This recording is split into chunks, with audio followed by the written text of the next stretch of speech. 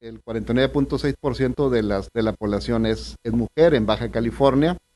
Te puedo decir, otro dato también, ya te hablé del tema de la fecundidad, también te puedo hablar de la tasa de la participación económica de la mujer. E, esta información del censo, ¿no? Que es el tema del que estamos hablando.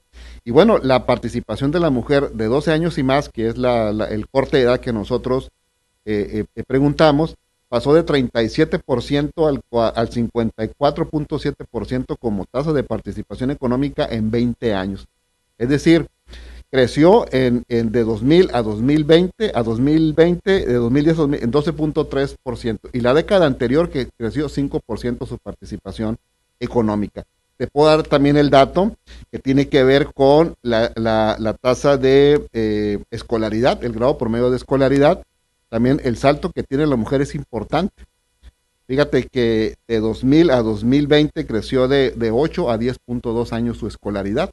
El caso de los hombres también creció, pero fue menor, de 8.3 a 9.2. Baja California se encuentra por encima del nacional en cuanto a este indicador, que fue de 9.6, para el caso de, eh, eh, de las mujeres, que fue de 10.2.